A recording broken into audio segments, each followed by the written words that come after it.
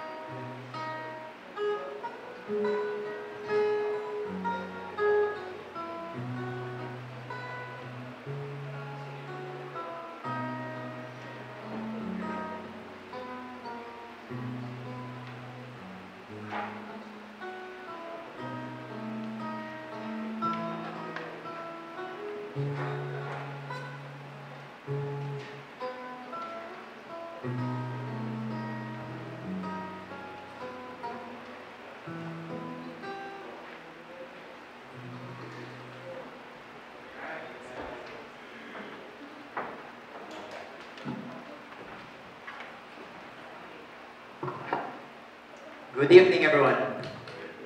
Good evening.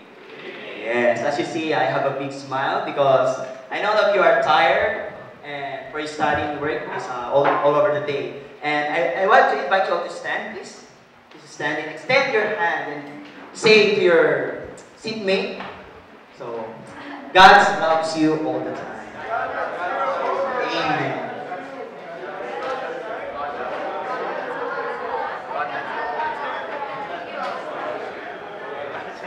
for that, my brothers and sisters. So, you know, uh, this, this is the opportunity because we know that all of us are too busy in our study work. Uh, this is uh, event is for us to worship God. Amen.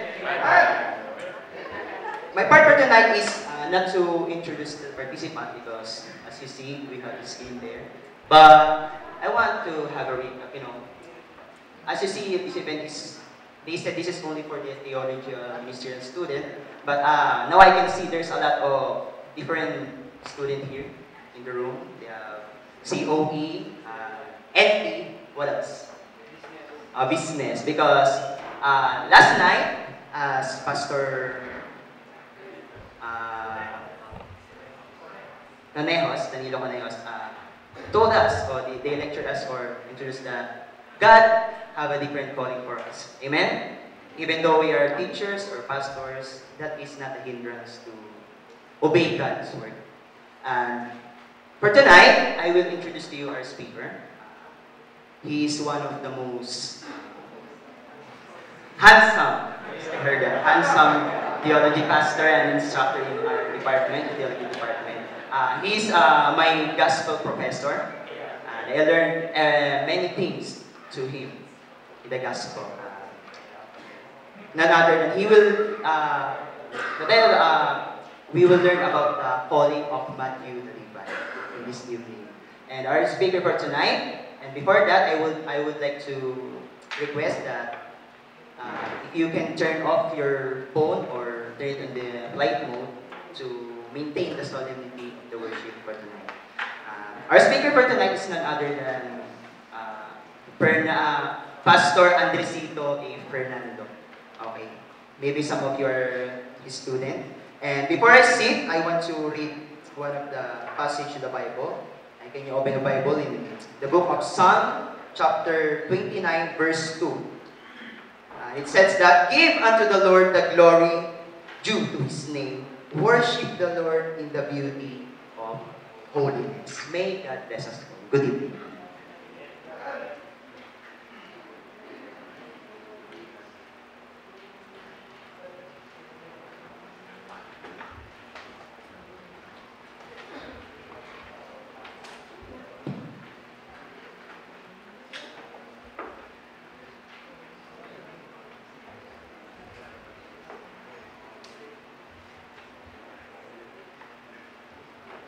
Before we start our inspiration, let's bow our heart for prayer. Our gracious night, Heavenly Father, thank you for this evening, uh, which you have gathered us together to worship you. Please forgive us in our sin. In, in Jesus' name we pray. Amen.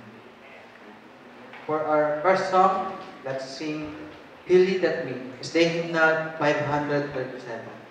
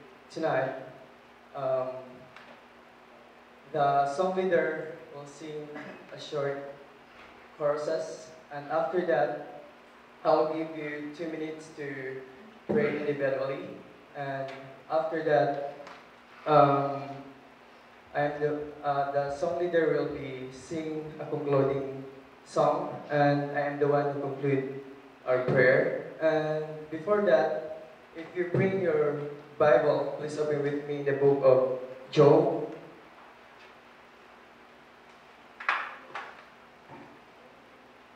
Job chapter 36, verse 22 to 24.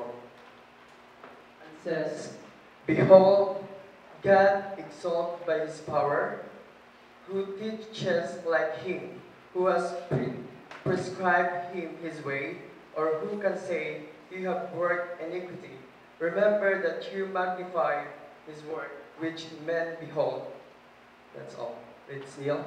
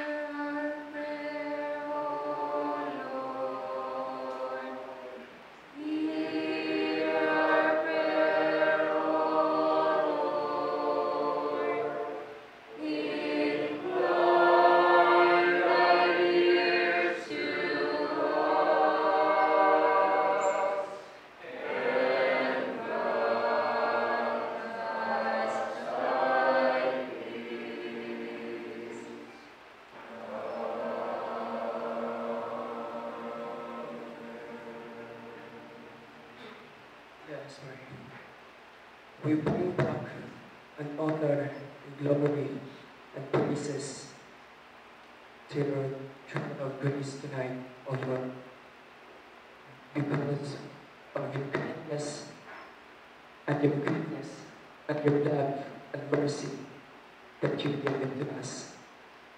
Lord, before we ask our prayer, please cleanse us because we are not worthy to come to your tonight because of our unselfish and unsinfulness. Lord, please cleanse us. And I invite your Holy Spirit to be with us, to renew us. And Lord, tonight, please teach us to surrender and to submit ourselves to you because we know that we are nothing without you. And I will especially to pray for our for your chosen servant deliver the message tonight. Please use your Holy Spirit to guide them. And I hope that the message that we hear tonight will be a blessing to each one of us. And Lord, thank you for all the things that you've done in our life. Thank you for saving us. Thank you for your grace. And Lord, as we continue to live in this world, I choose us to be a good example to those people around us. And forgive us, O Lord, our sins that committed against you. And this is my prayer, the love of Jesus.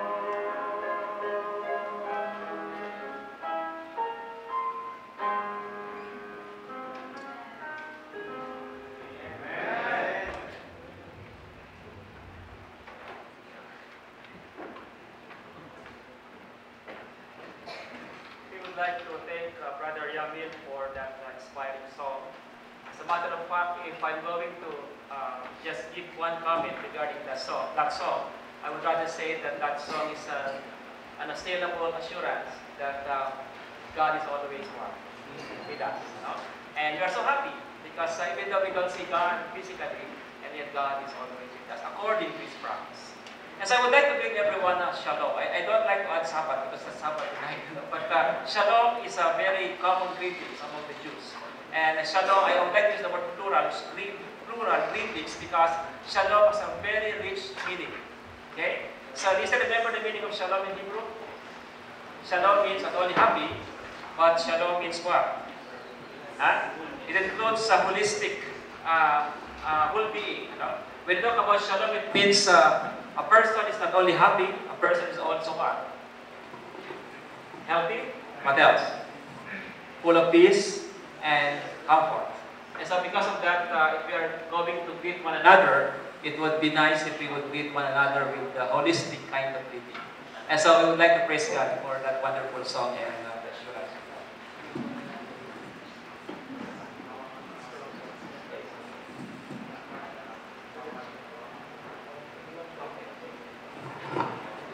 I would like to make a survey tonight. Uh, I would like to see the hands of those who have been blessed uh, with those messages that we have heard last three evenings. We see the hands of those. Uh, thank you so much.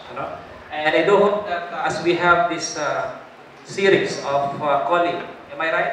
Our series about calling, that our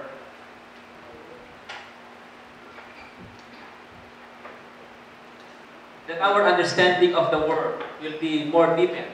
Because when we go to our district, so what matters most is our understanding that we have been what? We have been called by God, right? And so because of that, let us keep hold on that particular privilege that God has given us. And so, maybe we to change the Bible. Yes.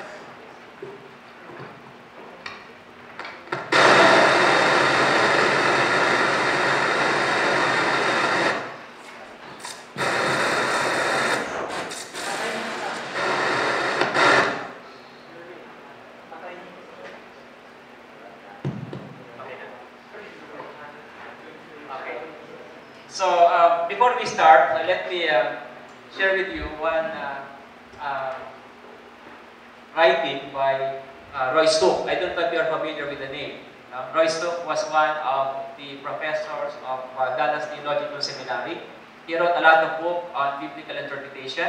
But of course, we won't go theological tonight because we would like to be more practical in our week of prayer. But uh, he wrote in his book something that uh, defines what a perfect pastor is. Who is a perfect pastor? Okay? And so if, if we would like to know the meaning of a perfect pastor, I think uh, Roy Zuck has given a lot of interesting uh, uh, definitions of uh, perfect pastor. Let me share you some of, this, of his uh, ideas. Okay?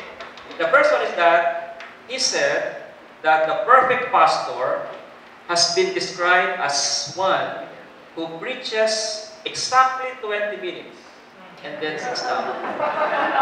That's a perfect pastor. Right? So if you cannot preach uh, 20 minutes, then it means that uh, you are not perfect.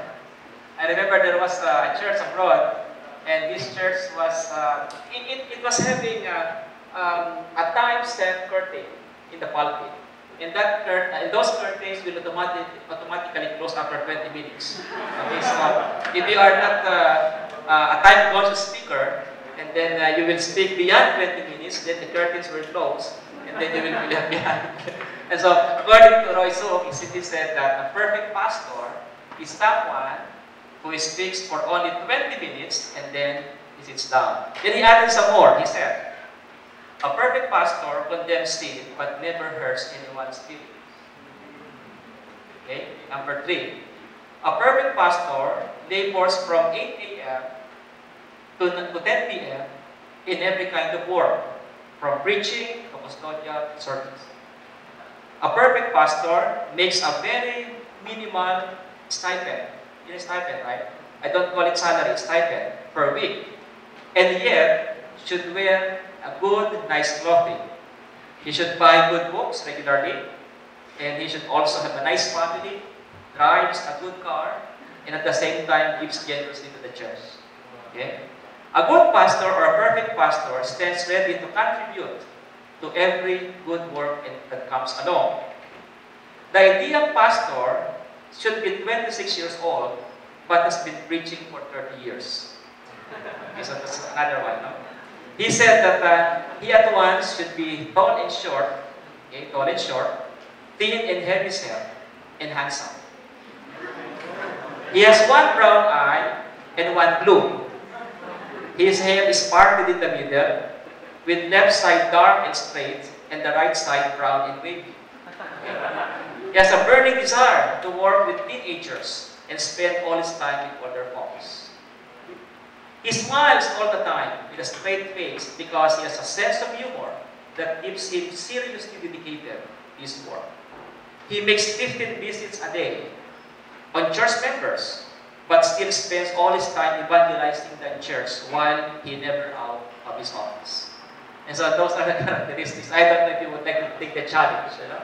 So the challenge of pastoral, pastoral ministry is very huge. But let me assure you one thing, that if we accept the challenge, the call of God, and then our God is bigger than those challenges. You agree with me?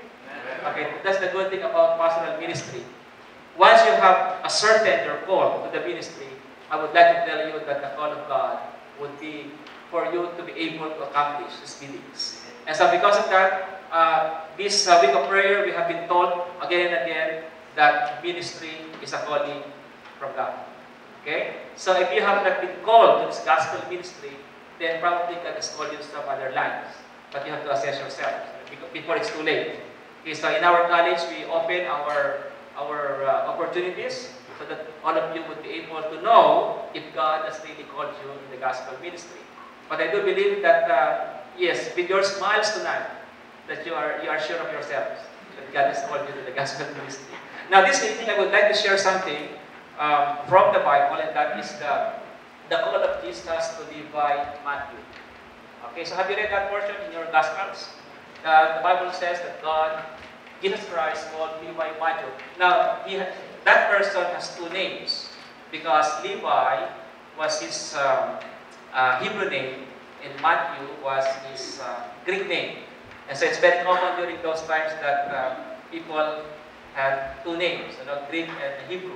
And so Levi Matthew was uh, one of the disciples of Jesus Christ. Uh, he has been called by Christ, but uh, unfortunately, uh, the record about Matthew's life is very meager in the Bible. We can find a lot of, uh, of details about his life. But let me emphasize one thing, that if you're going to read the call of Matthew, you're going to find that event in all of the Synoptic Gospels. It was written by Matthew, it is also found in, in Mark, and also you can find that in the book of Luke. It only shows that the call of Levi Matthew is a significant event in the New Testament. Okay? And so what's in the call of Levi Matthew? Um, I tried to examine, you know, so all of the disciples were called by Jesus Christ except one. Remember that one? Among there was only one who was not called by Jesus. He was uh, Judas. Okay? Judas volunteered himself, but Jesus did not uh, call him. And so, Levi Matthew was among those who were called by Jesus. And the Bible says that uh, Jesus Christ, according to the text, let's see probably, uh, let's see the, the text in Mark. I have chosen the Gospel of Mark because the Gospel of Mark is uh, the, the most simple and direct to the point uh, narration of this event. Okay, so we have the Gospel of Mark chapter 2. You have your Bibles with you. Okay? And so it is found in verse uh, 13 onwards. Okay? So let's open our Bibles in Mark chapter 2, verses 13 onwards. And the Bible says, Then he went out by the sea. That he refers to, to Jesus, right? And all the multitude came to him, and he taught them. As he passed by, he saw, you like to supply the name? He saw who? Levi. Now, there is no Matthew. Only the book of Matthew identifies this person as Matthew. All other Gospels simply say Levi. Okay? Levi, the son of Alphaeus, sitting at the tax office. And he said to him, Follow me. And the Bible says, he rose up and followed Jesus Christ. That's how simple the account of uh, the calling of Matthew, right? But there is something that uh, in this story that really makes the study of this uh, account worth doing tonight. Okay? The first thing is that um, it's not visible in our English translation. But uh, if we're going to go to the original language, the word follow in that particular text is very deep. I have seen the, the, the invitation of Jesus to Peter, follow me. He said to Andrew, follow me. He said to John, follow me. But uh, all those follow me use a different kind of statement compared to this one. Okay? So if we're going to look at the original language of the word follow me in the Gospel of Mark, then Jesus used a very strong word. Okay? So, and, uh, and this strong word has a lot of meanings. And uh, given the background of Matthew, okay, I do believe that when Christ used this powerful word, akoloutheo, is because he wanted to tell Matthew of something very special. Okay? And so, Jesus said, follow me. But what is the meaning of the word follow me in that statement of Jesus? Okay, so I'm, I'm going to share with you uh, some meanings. No? Uh, we have our lexicon, if you'd like to check. But I have checked the, the meanings of uh, this word. And I found out that it is not only in the lexicon, but they are jiving with the context of uh, the gospel. And so we are safe. We are safe, you know? We are not adding anything to the text. But those meanings just reflect what's in the context. And so because of that, so let, let us now try to reflect on this one. Uh, if you're going to go to some resources, I would like to uh, share with you what I have found uh, with regards to the meaning of follow me. The same, now, now let me reiterate that when Jesus invited Peter, James, John, he used the word follow me, but different wording. But when he invited uh, Levi Matthew, he used a specific, heavy word that for Matthew, he had no option but to follow Jesus. Okay, so what is the meaning of this word in Mark chapter 2? I'm going to share with you at least uh, uh, five of them. Okay, five broad meaning of uh, that invitation. Follow me. Okay, based on the word used by Jesus in this particular event. Okay, so the first word, the first idea of this word when Jesus invited Matthew to follow him is like this way. This word means be like me. Okay? So you can imagine how Matthew has been shocked. He was a tax collector. Uh, who, who are the tax collectors during those times? They are not, uh, they are not uh, liked by their own people, right? They are hated by their own people. Bakit? Why? Because they are traitors, right? They consider them as uh, collaborators. But here is Jesus telling him, be like me. And so, I, I don't know what was the feeling of Matthew, but he had not, not, nothing to do but to comply and follow Jesus. And so, that word, akoloutheo, based on the context of the text, is not only an invitation for, for Matthew to follow Jesus, but there is a deep meaning behind. And that is, if you would like to follow me, Matthew, be like me. You know? And what, that is one of the most powerful lessons that we can get. You know? I don't know of any reason why we're going to be effective in the ministry without being like Jesus. And that's a very, very weighty. It is a very. Uh, uh, I, heard word pregnant. I don't know what some what, why some speakers are using pregnant. You know, but it's pregnant in meaning. Okay, he said, "Follow me, be like me." There are some uh, uh, special uh, mention of these uh, words in other parts of the scriptures, but let me let me tell you something. I shared this one to my New Testament class, and I would like to reiterate this one because I think this is the most important part of your training. Okay? So in the Gospel Workers, page 94 by Ellen White, he said, Let those who are training for the ministry never forget. Okay? So you might forget uh, Hebrew and or whatsoever. We are going to passion it, uh, it, even though you're struggling with those, with those languages. But let, let us uh, have this one. Let those who are training for the ministry never forget okay, that the preparation of the heart is of all the most important. Okay? No amount of mental culture or theological training can take the place of this. Okay, so we cannot substitute that. You know? So it's a very the most important thing. The bright beams of the sun of righteousness must shine into the heart of the worker and purify his life before light from the throne of God can shine through him to those in darkness. And so if I'm going to ask you one very important question about you, we don't say that theological training is not important. They, it is extremely important. But more important than those uh, knowledge, okay, is what? The preparation of what? Of our hearts. Now, you should ask yourselves, am I prepared not only physically, not only mentally, but spiritually as well? If our hearts are not prepared, please do not go the ministry. Because the preparation of the heart, according to the gospel workers, is the most important preparation a minister should have. Now, what is the invitation of Jesus to Matthew? Be like me. Okay, that's the first meaning of uh, the word. No? So we're going to, uh, to go to the next meaning of the word. Uh, okay, in, in, the, in the Greek language, has also another meaning. And the meaning is that to follow with determination, intentional following. So what's the meaning of that? So we talk about determination and intention, what, does it mean? We follow Jesus Christ because it is our decision. Right? So look at the event. Uh, when, when Matthew heard the call, what did he do? Interestingly, in some other parts of the scriptures, for example, Gospel of Matthew and Gospel of Luke, they say that Matthew abandoned and left everything to follow Jesus Christ.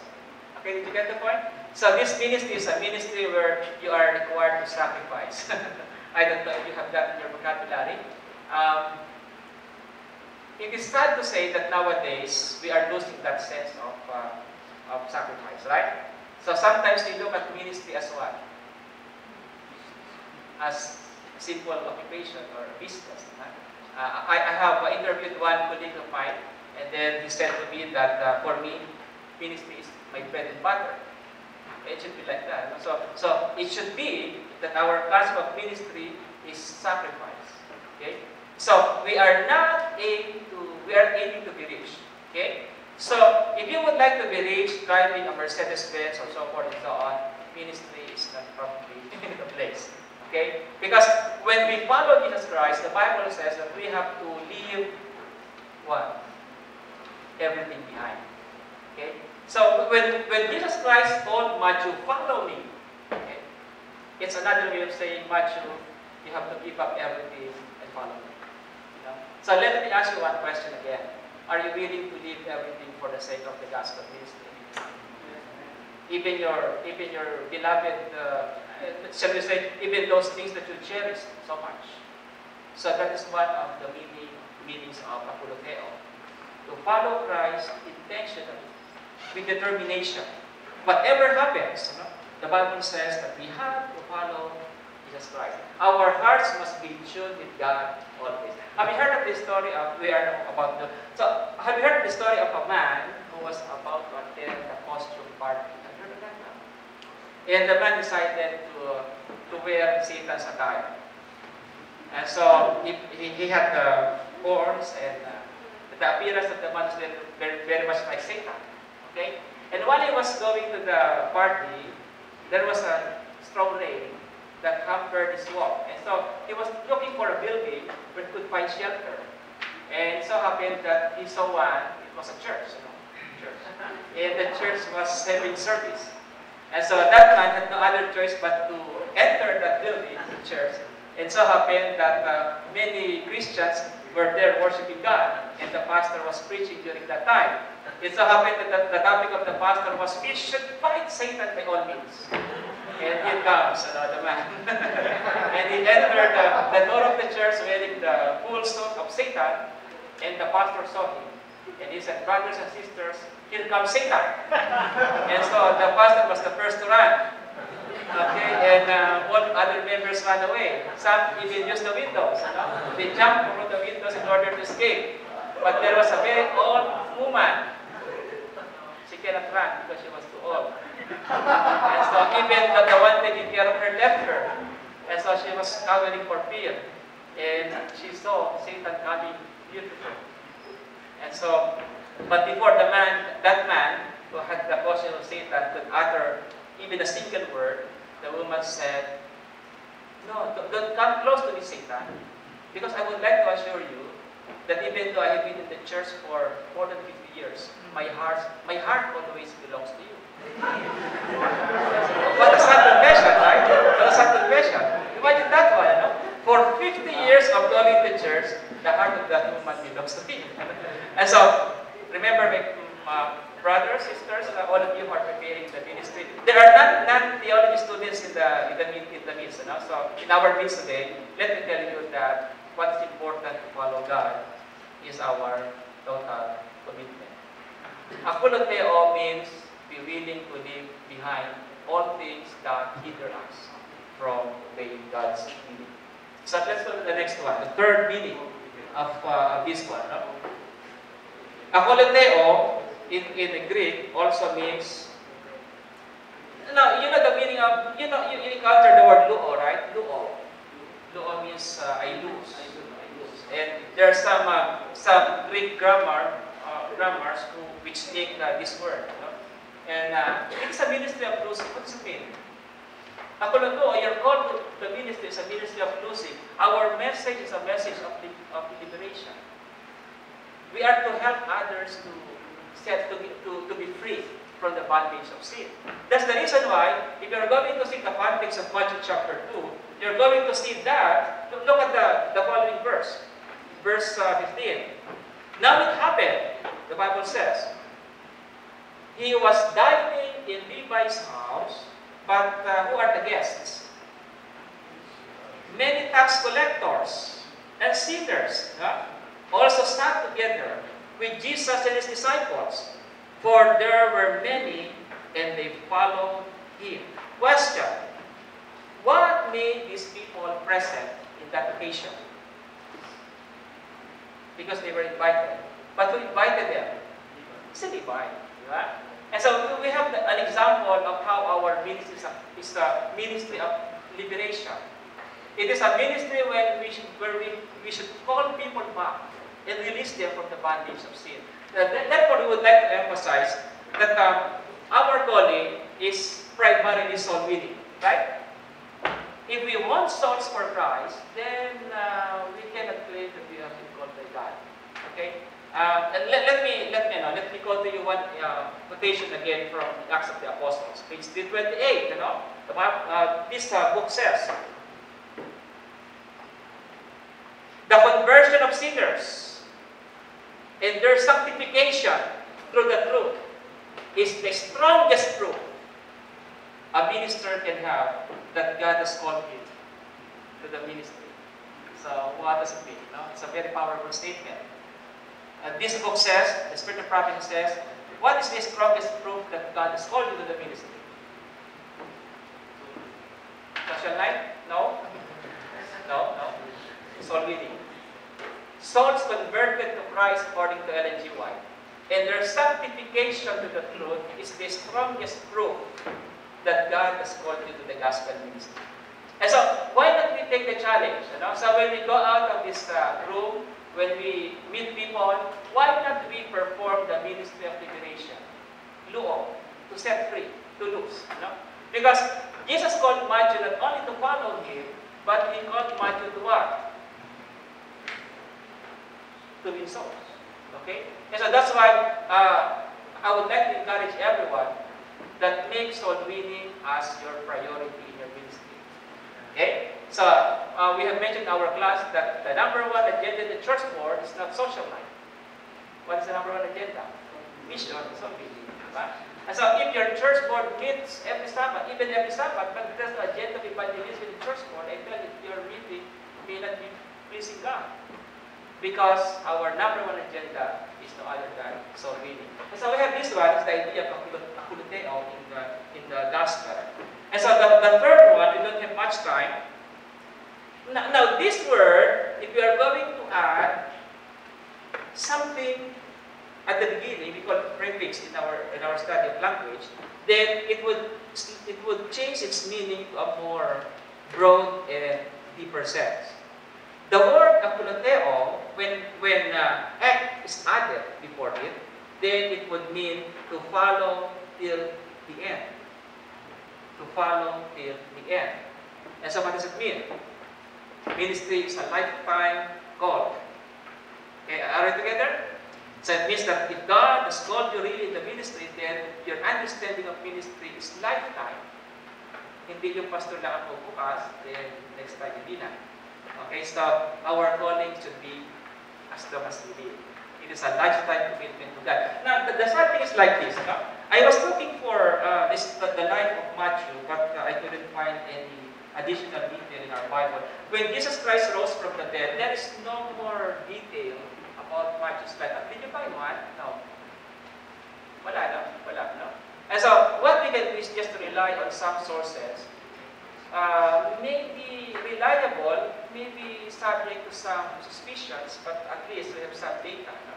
Um, tradition tells us that Matthew spent some of his time evangelizing his fellow Jews, but later on he departed and he went to far places, according to uh, um, the Roman Catholics and the Orthodox are saying that Matthew died a martyr's death. He died as a martyr. Uh, but how and where, we don't know. Uh, I have a book in my house uh, with the title uh, uh, Death of Martyrs, written by John Foxe. And he said that Matthew went to Parthia and he died there as a martyr. Okay? In other words, uh, traditions uh, are unanimous saying that Matthew followed Jesus till the end of his life. It is a lifelong journey. You know? And that makes ministry a very challenging, at the same time, interesting work. Because our calling is lifetime. Okay, once a pastor should always be a pastor. But if you have some inkling to, to think of something else, uh, assess yourself if you have been called by to the gospel ministry.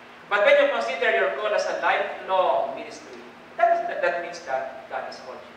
Okay? And so we have that one. Now the last part that I'm going to share with you, because our time is not uh, so long, is that this word is an invitation to leave a lasting legacy. So what do you mean by legacy? um, legacy plan is something that uh, you yourself and others will never forget. You know? It's good for Matthew because he wrote a book. Had Matthew not written any book, we would not have known him. You know? Or probably a little bit. But Matthew, according to, to what we have seen in our gospel, wrote a very informative book, the Gospel of Matthew, and that was his legacy, right? Okay, so uh, there is a book saying that in order for you to be remembered always, you write a book, or you plant a tree, or whatsoever. But not all of us can be authors. You know, sometimes we don't have time to write a book. But let me tell you something, that winning souls for Jesus could be your legacy. No? And you would find a lot of people remembering you in your gospel ministry. And that will give you joy in your ministry. Uh, the, the thing is that you are too young to appreciate that, but all of us who are members of the uh, of the college of theology, we are getting old already. So we are in the process of seeing to it that at the end of our ministry, we have something to think about when we get old. You know? So we would like to, to see ourselves sitting on a rocking chair and remembering all those good old days you know, that, that uh, happened in our lives. Now, since you are young, it's time for you to build memories and legacy to your members. You know? And when Christ comes again, and for example, all of us will go to heaven, I do believe that many will embrace you for what reason? Because they will thank you. Because you, you were the one used by God for them to be in heaven. Okay, so that's a good thing. And that's legacy. Okay? So, it, you, you can build a lifetime legacy or even legacy for eternity if we serve the Lord without reservation. And that's a good thing. No? So, before I end, let, let me share to you one, um, one experience of mine. Um, I was conducting evangelistic meeting in uh, Ecija. Okay, I don't know if you have been there in that place. Maybe some of you came from that uh, province. Uh, it was uh, 19, uh, 1990s or something like that. And uh, uh, we entered a very uh, virgin, or shall we say, a territory without any Adventist presence. And so it's quite challenging. You know? when, after your graduation, most of you will be planting churches, not planting corn, according to Pastor Thomas last night. You know? So I do hope that all of you will plant your churches. And then, uh, I remember, I remember that uh, when we came to the place, we had a very difficult problem. Where would be our base? Because there was no Adventist, no, no church, no, not even a member was there. And so we were thinking, while we were praying for a particular base, then there was an old lady who approached us, and she invited us to, to uh, what? To, to, uh, to, to make her home our, our base in evangelism. And we were so happy. Imagine this old lady volunteered. And she said, come to my house. I'm going to, uh, to uh, give you space and you can uh, prepare everything in my house. Plus, your lunch and dinner and breakfast are free. Okay, we're so happy there. No? So we found a lady. And uh, to my surprise, when she prepared our weddings uh, at night, she prepared a very special, uh, you know, beds you know, for all of us. And uh, she served a lot of delicious food. And she entertained us very, very well you know, during all those uh, days that we have stayed in the place. Now, before the end of our evangelistic meeting, the lady, that old lady, about 70 years old, okay, told me, um, Pastor, I have, I am going to confess something to you. I was a former Adventist. I was baptized when I was still a teenager.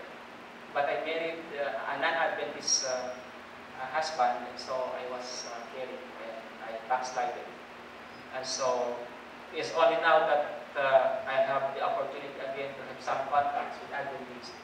And so the reason why I opened my house because I feel that God is calling me back to the church. You know?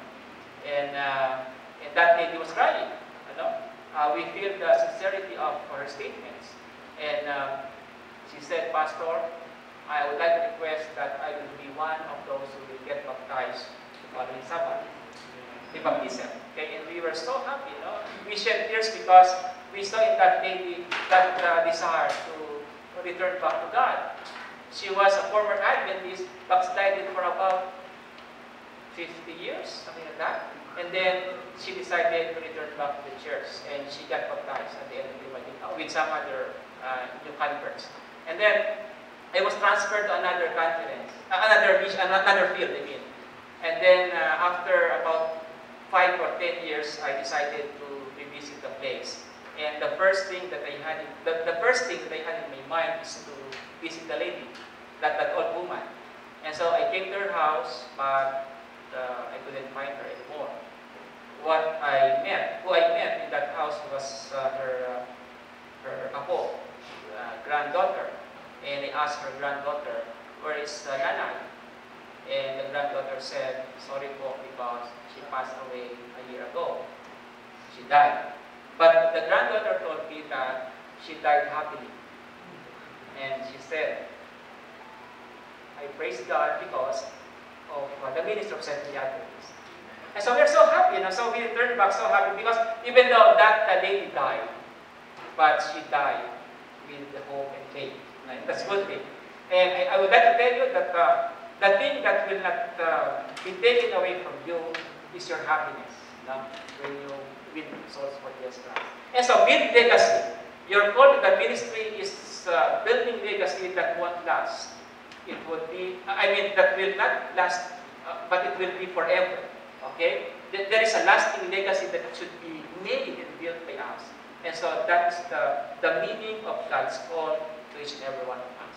And so maybe that's the reason, those are the reasons why the call of Matthew has been included in the Gospels. Are we together? So let's, let's those uh, meanings. Papakuloteo. A unique word that Jesus used for, for Matthew. Okay? Number one, akoloutheo means what? Huh? Be like me. If God is calling you to the ministry, be like Him.